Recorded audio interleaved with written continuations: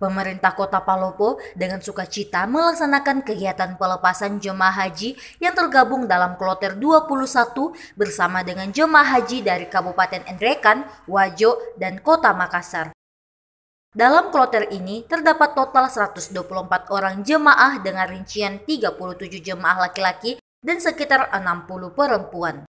Namun, hanya 110 orang yang akan berangkat pada Selasa 6 Juni 2023, sementara 14 lainnya direncanakan akan bergabung dengan kloter 44.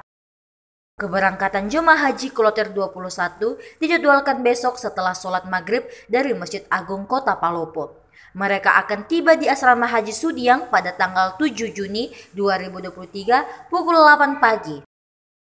Baru pada tanggal 8 mereka akan diberangkatkan langsung ke Mekah untuk melaksanakan ibadah haji. Untuk mempersiapkan jemaah haji, dilakukan manasik haji sebanyak 10 kali pertemuan, termasuk dua kali tingkat kabupaten kota dan ke-8 kali tingkat kecamatan. Hal ini bertujuan untuk memberikan pemahaman dan bimbingan mengenai ibadah haji kepada jemaah. Kepala Kantor Kementerian Agama Kota Palopo, Dr. Andes Haji Jufri MA, berharap semua jemaah haji yang diberangkatkan dapat melaksanakan ibadah haji dengan baik.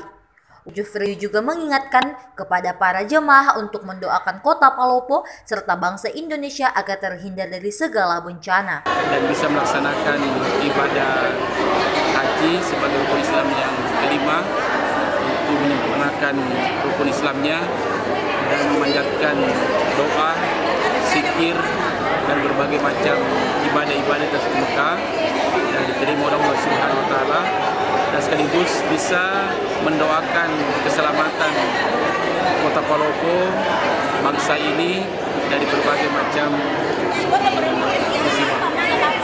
Dalam sambutan yang dibacakan oleh Sekretaris Daerah Firmansyah, Wali Kota Palopo merasa sangat bersyukur karena pada tahun ini pemerintah berhasil memberangkatkan kota jemaah haji secara penuh. Ini berbeda dengan tahun sebelumnya yang terbatas akibat pandemi COVID-19. Wali kota juga memberikan pesan kepada jemaah haji untuk menjaga kesehatan dan saling membantu satu sama lain selama menjalani ibadah haji. Ia mengingatkan agar jemaah tidak bersikap egois dan saling mendukung dalam menjalankan ibadah yang mulia ini. Pada yang muda-muda itu harus punya kepedulian terhadap orang tua orang tua kita ya. Artinya apa?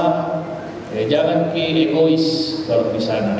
Artinya jangan ki mementingkan diri sendiri. Kita dibagi perbu sehingga kita diharapkan itu bisa saling uh, memperhatikan orang yang ada di rebutan, paling tidak seperti itu. Dari kota Palopo, Nada Gabrielia mengabarkan untuk Koran Seruya, Seruya TV.